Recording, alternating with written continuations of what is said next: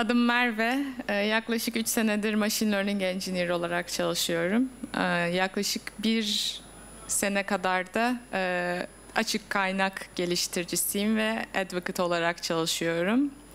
Ee, Bugün e, Machine Learning'den bahsedeceğiz. Daha spesifik olarak Transfer Learning'den bahsedeceğiz. Bu sunumu şöyle hazırladım. Hem buradaki işte kendi e, kendi işte SaaS'ların ya da atıyorum ürünlerini geliştirmek isteyen software developerlar da faydalansın diye biraz daha böyle basitleştirerek hem de sonlara doğru e, daha advanced e, TensorFlow kullanıcıları işte daha custom modeller e, eğitebilsinler diye böyle bir sunum hazırladım. Bakalım olacak mı? Kendimden bahsettim. Bugün önce Hugging Face ve Native TensorFlow'la Hugging Face nasıl kullanılıyor bundan bahsedeceğiz. Sonra transformerlardan bahsedeceğiz. Sonrasında e, bu taskları işte machine learning gerektiren şeyleri nasıl halledebiliriz'e bakacağız. Sonrasında da TensorFlow Extended'la bunları nasıl deploy edebiliriz'e bakacağız vaktimiz kalırsa. E, buna sonra geleyim en iyisi. Şimdi machine learning ne ba- baştan alacak olursak? Mesela bir tane modeliniz var diyelim. Bu modeliniz fotoğrafta e, ne olduğunu anlatıyor. Yani image captioning yapıyor olsun. E, bu metinlerle e, fotoğraf arasında matematiksel bir temsil bulmaya çalışan bir e, model, bir algoritma diyeyim. Ee, Bunu da kendisine verdiğimiz verilerle öğreniyor. Genel machine learning'de işte e, sıfırdan eğitiyoruz. Ee, Ama son zamanlarda yani işte bunu arıyoruz aslında. İşte e, şu ortadaki e, ikisinin arasındaki matematiksel bir ilişki bu girdi ve çıktı arasındaki. Ama son zamanlarda paradigma değişti. Nasıl değişti? Şöyle. Şimdi mesela e, çok büyük modeller var işte Google'ın eğittiği, Face- Facebook'un eğittiği, OpenAI'nin eğittiği son zamanlarda işte GPT-3 gibi trend olan modeller var. Ee, bu modellerin ilk katmanları yani bu modeller katman katman ve ilk katmanları daha genel şeyler öğrenebiliyor. Ne gibi? Mesela GPT-3'ü örnek alacak olursak GPT-3 ne yapıyor? İşte metin tamamlıyor diyelim. Ee, GPT-3'ün ilk katmanları genelde daha yüzeysel bilgiler içeriyor. İşte mesela in- dillerin gramer bilgisi, işte sintaks bilgisi ve son katmanları da e, eğitildiği veri üzerinden daha spesifik veriler, e, spesifik bulgular içeriyor. Ne gibi? Mesela GPT-3 işte Reddit verisi üzerinden, Wikipedia verisi üzerinden, internetteki haberler üstünden ve birçok veri üstünden eğitildi. Daha çok bunların işte e, anlamlarına dair son, son katmanları anlamlarına dair şeyler içeriyor. Peki biz e, oturup e, modelleri sıfırdan eğitip daha az daha kötü sonuçlar almak yerine bu modellerin ilk e, katmanlarını kullanıp e, mesela ne gibi işte görüntü işlemede e, köşeleri algılayan işte kenarları algılayan katmanlar şeyde de işte natural language processing'de de işte dilin sentaksı diyelim. Sentaksı algılayan katmanları alıp kendi verimiz üzerinde eğitsek nasıl olurdu? Daha iyi olurdu. Çünkü oturup e, birincisi modele sıfırdan bir dil öğretmek zorunda kalmayacaksınız. Bunu geride bırakıyorsunuz. Bir modelden e, bilgiyi transfer edebiliyorsunuz. Buna da transfer learning deniyor. Şimdi bu transfer learning'in ilk örneği BERT modeliyle geldi Google'ın. BERT PageRank algoritmasında kullanılıyor. E, BERT ne yapıyor? BERT şu sağda gördüğünüz kısım BERT'ün e, şey mimarisi. Siz bu BERT'ün içerisinde kelimelerin arasındaki ilişkileri saklayan aynı şekilde işte İngilizce'deki işte kuralları, başka dillerdeki kuralları saklayan kısmını alıp Başına e, bir tane layer koyuyorsunuz, katman koyuyorsunuz. Bu e, şey olabilir. Mesela sen şey yapalım işte duygu analizi yapalım. İşte pozitif ve negatif e, duyguları ayırt etmeye yönelik iki çıkışlı bir katman koyup sonrasında kendi verilerimiz üstüne mesela atıyorum Amazon üzerinde şeyler var diyelim, ürün yorumları var diyelim. Bu ürün yorumları üzerinde eğitip daha kastım ve çok daha iyi çalışan yani sıfırdan e, şu şekilde eğittiğimiz bir modele göre çok daha iyi çalışan e, bir model elde edebiliyoruz. Peki Tamam bu transformerlar neler? Transformer da aslında bu transfer learning paradigmasının e, kullanılmasını sağlayan bir e, mimari çeşidi. Son zamanlarda çok popüler işte GPT-3 gibi, BERT gibi, bu OpenAI'nin geliştirdiği ve sonradan Stable Diffusion gibi modellerde kullanılan e, Clip gibi modellerin hepsi transformer modelleri. Ve bu neden bu kadar popüler? Birincisi en başta gelen sebep transfer learning'i yapmamızdan ötürü. İkincisi kendi kendine öğrenebiliyor. Bu ne demek? Mesela GPT-3 ilk eğitildiğinde dümdüz bir veriden eğitiliyor. Yani mesela Wikipedia alın, hepsini ucuca ekleyin ve GPT GPT modeli eğitin. E, bu şekilde şeyleri anlar. GPT işte e, kelimelerin arasındaki ilişkiyi bir şekilde çıkarır matematiksel olarak. İşte hangi kelime hangi kelimeye daha yakın. Mesela işte kraliçe ve Elizabeth kelimeleri birbiriyle çok sık geçtiği için GPT diyor ki işte atıyorum kraliçe kelimesini gördüğümde Elizabeth olarak işte autocomplete edeyim. Ya da işte bu kelimelerin ilişkili olduğunu düşünür. Bu self-supervised learning oluyor. Yani bizim etiketli veriye ihtiyaç duymamamız çok büyük bir büyük bir etken. İşte normalde siz çok fazla etiketli veriye ihtiyaç duyarsınız machine learning'de. Self-supervised learning e, transformerlarda ilişkileri e, ilişkileri almak için kullanılan bir teknik olduğu için çok popüler. Son olarak da attention mekanizması. Buna çok değinmeyeceğim ama sadece şunu bilseniz yeter. Normalde biz LSTM modeli kullanıyorduk. E, attention mekanizması bizim daha uzun e, metinleri handle edebilmemizi sağlıyor. E, transformer'lar işte Copilot'ta, işte Codex'te, ChatGPT gibi modellerde kullanılıyor. Zaten bu modellerin kendisi Transformer. Ee, ve artık sadece NLP değil aynı zamanda atıyorum computer vision, audio, işte time series verileri gibi verilerde de kullanılabiliyor. Mesela işte DALI 1 ve 2, e, Stable Diffusion, Transformer modelleri kullanan e, mimariler. E, şu anda işte mesela atıyorum audio'da wave to wake modeli var. İşte bu bahsettiğim gibi clip modeli var. İşte protein folding'de bile şu anda transformerları kullanabiliyoruz. Peki bunları nasıl kullanabiliriz? Yani bunların gerçekten olasılıklar sonsuz. Mesela atıyorum PDF modelleriniz var diyelim. Sadece dokümanlar üzerinden soru cevaplayan e, bir modeli alıp bunu bile kullanabilirsiniz. İşte mesela atıyorum dokümanlar üzerinden soru cevaplar. Ya da atıyorum mesela e, konuş konuşulan bir şey düşünün, ses kaydı düşünün. Bunu e, bunun transkriptini alabilirsiniz Automatic Speech Recognition modelleriyle. E, mesela ChatGPT gibi ya da atıyorum Copilot gibi işte konuşabildiğiniz modeller yapabilirsiniz. E, text to image modelleriyle e, realistik şeyler üretebilirsiniz, realistik görüntüler üretebilirsiniz. Doğancan telefonu Senin değil mi? Ha. Sıkıntı yok.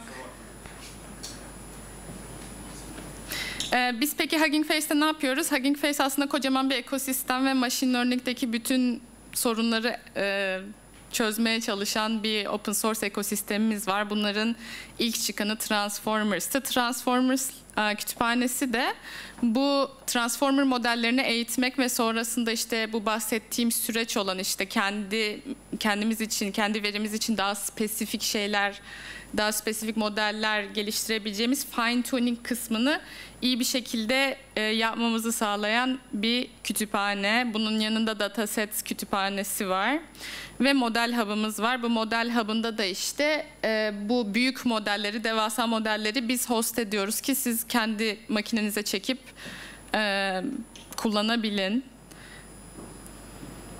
ve bunların hepsi ücretsiz. Aynı zamanda işte dataset kütüphanesi var. Datasetleri de host ediyoruz. 100 GB'dan bile daha büyük datasetleri tek repository'de host edebiliyoruz.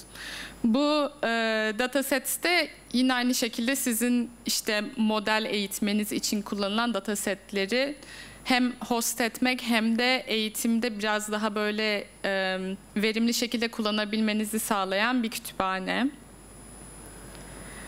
E, peki birkaç tane böyle trik söyleyeceğim. Şimdi bu modeller çok büyük, çok güzel. Peki ben bunları direkt kullanabilir miyim hiçbir şekilde eğitmeden? Evet bu daha çok software developerlara yönelik bir tavsiye. Mesela bizim bir tane pipeline abstraction'ımız var.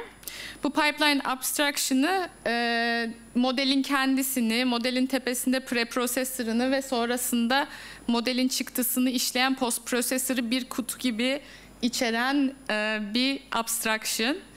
E, mesela işte ben bu filmi çok seviyorum mu e, pipeline'a sokup dışarıdan işte pozitif %99 ihtimalle pozitifi alabiliyoruz direkt işte bu modelin e, çıktısını işlemeden ve bununla uğraşmadan bence bu çok büyük bir şey ve bu çok fazla pipeline için geçerli. Yani işte atıyorum e, resim sınıflandırmak için de pipeline var. İşte atıyorum tablodan soru cevaplamak için bile pipeline var.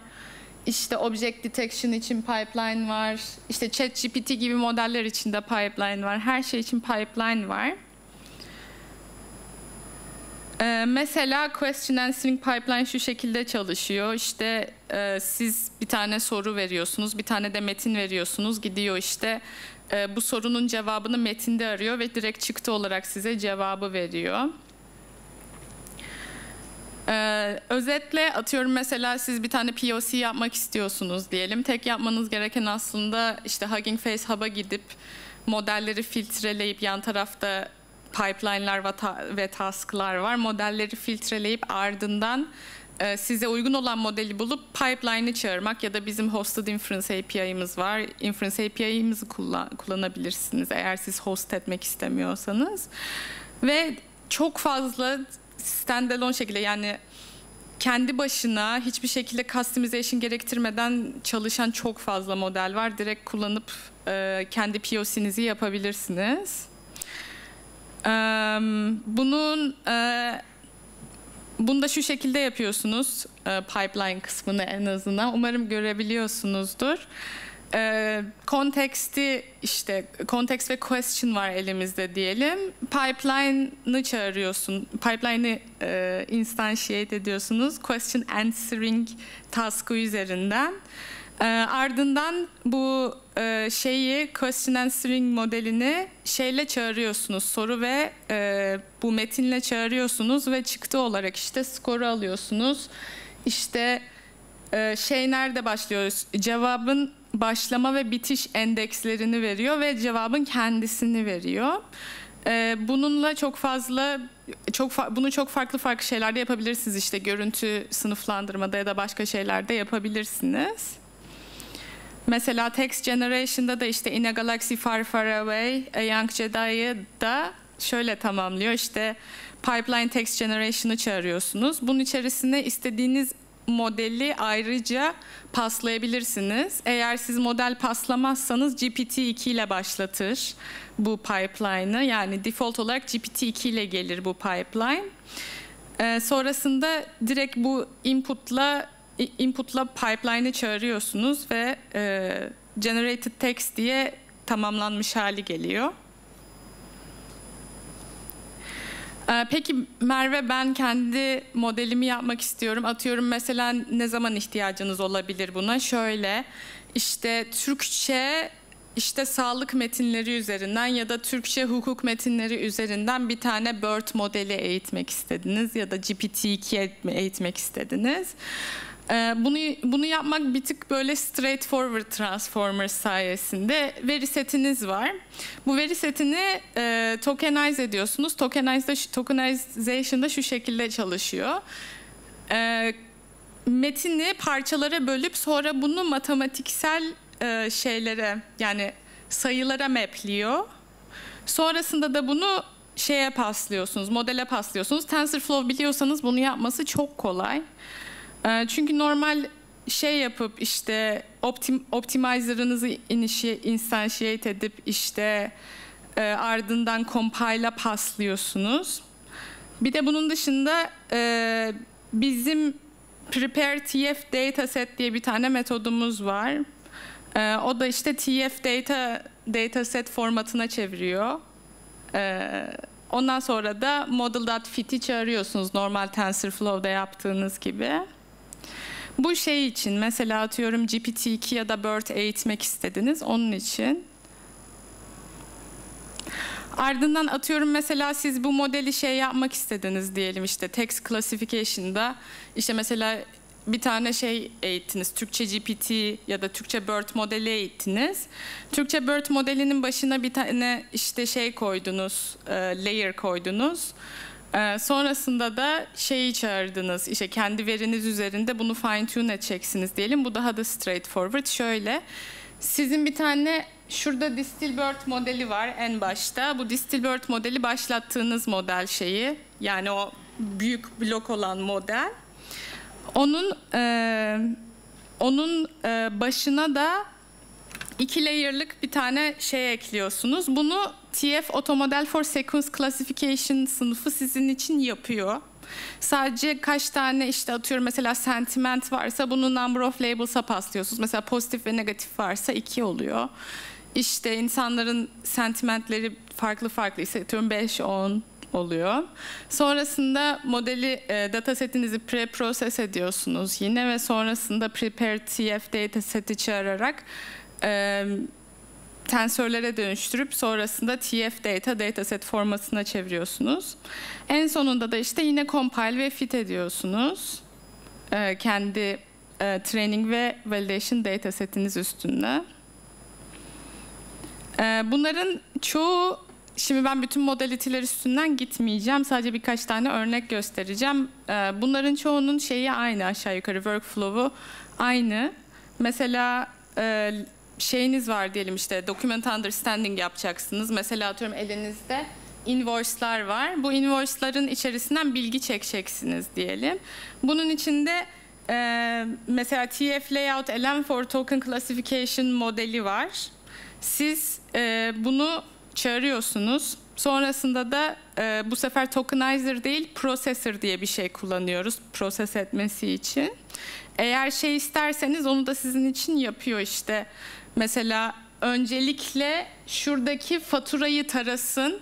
Bu PDF olduğu için e, bu faturayı tarasın ve bunun içerisinden metinleri çıkarsın istiyorsanız mesela apply OCR'ı true olarak e, set edebilirsiniz. Eğer veri setiniz şeyle geliyorsa direkt metinlerin kendisiyle geliyorsa PDF yerine e, bunu false'a set edebilirsiniz. Sonrasında veri setinizi pre-proses ediyorsunuz. Ardından da Yine normal modelinizi compile ve fit ediyorsunuz ve bu kadar. Son olarak da göstereceğim örnek e, image classification için fine tune etmek isterseniz de bu sefer tokenizer ya da processor yerine feature extractor diye bir sınıf var. Feature extractor kullanarak işte veri setinizdeki görüntüleri e, işte resize ediyorsunuz, normalize ediyorsunuz, işte data augmentation uyguluyorsunuz. Ardından Yine aynı workflow'da TF Auto Model for Image Classification'ı çağırıyorsunuz. Model checkpoint ile compile ediyorsunuz ve fit ediyorsunuz bu kadar. Bu sefer bir de prepare uh, TF dataset yerine to TF dataset diye ayrı bir metot var. Onun yerine onu çağırıyorsunuz. Başka hiçbir farkı yok. Yani aslında çok straightforward. Hub'dan bir model beğendiniz. Bu modelin sizin taskınız için uygun, uygun olan head'ini çağırıyorsunuz. Mesela işte TF Automodel for Sequence Classification, TF Automodel for Image Classification ya da işte Document Classification her neyse. Sonrası geri kalanı Native TensorFlow gibi verinizi işlediniz, compile ve fit bu kadar. Ee, son olarak da TF Serving ile serve etmeyi göstereceğim TensorFlow Extended ekosisteminle. E, TensorFlow Serving'in kendi e, şeyi var ne derler Docker image'i var. Şimdi modeli çe- modeli çekiyoruz şeyden Hugging Face Hub'dan. Bu bir PyTorch modeli de olabilir bu arada. Sonradan TensorFlow'a dönüştürebilirsiniz ki bu bence bayağı underrated bir şey. Çünkü normalde PyTorch modelini TensorFlow'a çevirmek için işte önce o Onyx'e çeviriyorlar. Ondan sonra TensorFlow'a çeviriyorlar ki bence bu çok fazla ama Transformers kütüphanesindeki abstraction'lar sayesinde interoperability çok kolay oluyor. Ardından TensorFlow Serving ile bir tane endpoint açıyoruz modelimizi modelimizi inference yapacak işte tahminlerde bulunacağımız bir endpoint açıyoruz. Sonrasında da bunu işte Flask'la artık neyle şey yapacaksanız işte nereye koyacaksanız oraya koyuyorsunuz. Yani web sitenizi ya da atıyorum başka şeyinizi işte user side'da, client side'da neye yapacaksanız. Bu işlerden çok front end işlerinden çok anlamıyorum.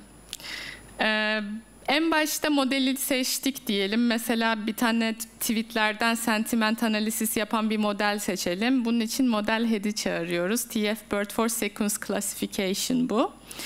Ardından e, bunu from PT'yi true'ya set ederseniz PyTorch modelinden TensorFlow'a çeviriyor. Bu şekilde herhangi bir PyTorch modelini TensorFlow Extended ekosistemiyle çok kolay kullanabiliyorsunuz. Bence bu çok tekrar söyleyeyim underrated bir şey. Sonrasında modelinizi saved model formatında kaydediyorsunuz. Çünkü TensorFlow formatına çevirdiniz. E, TensorFlow'da herhangi bir e, atıyorum TensorFlow Extended ekosistemindeki herhangi bir şeyi kullanmak istiyorsanız save modeli kullanmanız gerekiyor. Sonrasında image'i pullluyorsunuz ve customize ediyorsunuz. Ardından e, bir tane port expose ediyorsunuz. 8501. E, sonrasında da inference yapmak daha basit. Şöyle sizin bir tane işte atıyorum I love saved model ya da işte herhangi bir formatınız olsun diyelim. E, modelinizi çağırıyorsunuz tokenizer ile birlikte. Bu sefer pipeline'ı kullanamıyoruz ne yazık ki. Modelinizi ve tokenizer'ınızı çağırıyorsunuz. Ardından e, model şeyinizi e, bu tahminde bulunacağınız cümleleri batchler haline getiriyorsunuz. Sonrasında e, sadece o en, şeye e, endpoint'e post request atıyorsunuz ve cevabı alıyorsunuz. Cevap da şu şekilde geliyor. Genelde işte e, probability'ler olarak geliyor. Siz içlerinden en olası olan probability'yi seçmek için argmax'tan geçirmek zorundasınız. Sonrasında da bizim ID to label diye bir şeyimiz var. Şimdi bu modeller genelde çıktı verirken size şey demiyorlar. Bu insan kesinlikle mutlu demiyorlar da mesela bu birdir diyorlar. Atıyorum mesela negatif 1'e map, sıfıra mapleniyor, pozitif 1'e mapleniyorsa işte size bir çıkarıyor. Siz de bir tane dictionary tutuyorsunuz bu ID ve label'lar için. Ee, o çıktıdan e, direkt çekebiliyorsunuz. Ee, daha fazla öğrenmek isterseniz bizim kursumuz var. Ee, bunun dışında notebooklar ve scriptler var. Her yer zaten dolu. Ee, yine aynı şekilde YouTube kanalı var. Eğer bana ulaşmak isterseniz de bu mailden ulaşabilirsiniz. Ee, şimdi cevap, soru cevap yapabiliriz eğer sorunuz varsa. Umarım e, anlaşılabilir anlatmışımdır. Tabii. Teşekkür ederim.